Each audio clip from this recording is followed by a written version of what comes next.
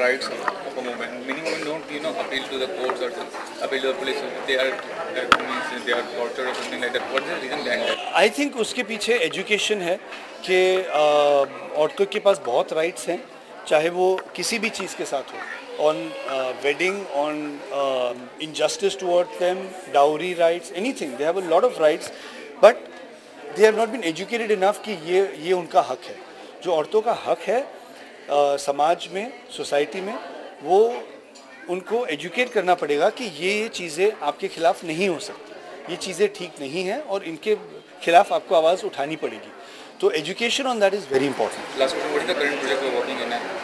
हाँ अभी it's wrong platform to talk about what I am working on but I talk about that very soon I am scripting now तो जैसे ही scripting खत्म होगी तो आई And are you following FIFA World Cup starting Uh, yes, I am going to be following FIFA World Cup. which which team are you following? Uh, well, a couple of teams that are, look very interesting. Brazil is very good. Brazil, Argentina, Germany.